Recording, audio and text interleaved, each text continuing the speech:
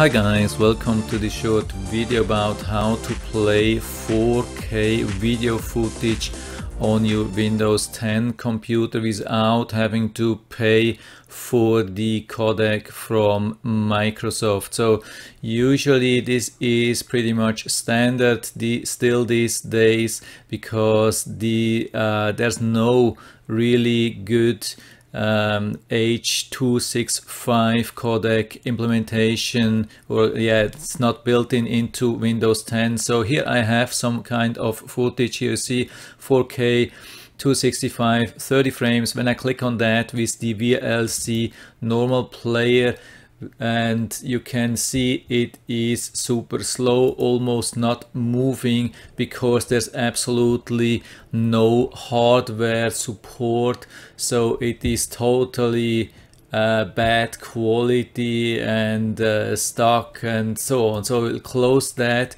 So I thought yeah okay then let's go uh, let's open it with the movies and TV because I remember the H264 was playing nicely with the movies and TV so I went here and clicked on that and what happened it said okay you can play it but you have to install an add-on from Microsoft for 99 cents and this is what you see here.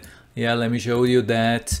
So that's the one here from Microsoft Store uh, the H EVC video extension from Microsoft Corporation and it's still 99 cents and this is since a couple of years. It has not changed. Microsoft is charging 99 cents for everybody who wants to play H265 uh, video codec MP4 that's a little bit of pain and but there's a solution for that. There's not only this codec available on the Microsoft store but there is also this uh, actually same thing available from device manufacturer. That's uh, yeah, a lot of people have been looking into that and it looks really, it's the only thing, the only difference, it's just called different. And the good thing is it's free. So you can click on get it, install it. And this is now how it looks after that. So we are back now on the same video just after installing this uh, codec from the device manufacturer. Right click again um, open, yeah, we have it, uh, movies and TV, and hopefully it will work. So yeah, you can see no more silly questions, uh, no request to install this 99 cent codec and it's working really good. It doesn't work with the VLC, at least at the moment. I think, yeah, probably I'll have to reboot my computer. Maybe it will then work, but at least with the movies and TV, the Microsoft product, it will work. I mean, that's what you have built in into computer, into the Windows 10. You get it for free, but you don't get the codec for free. So you have to go to the website and install the uh, HEVC video extension from device manufacturer.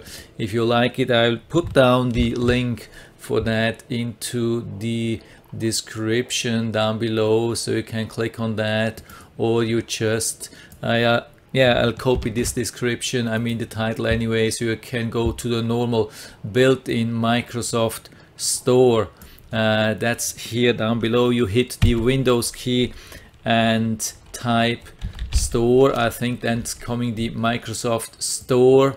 Yeah that's already it. Here you can see that.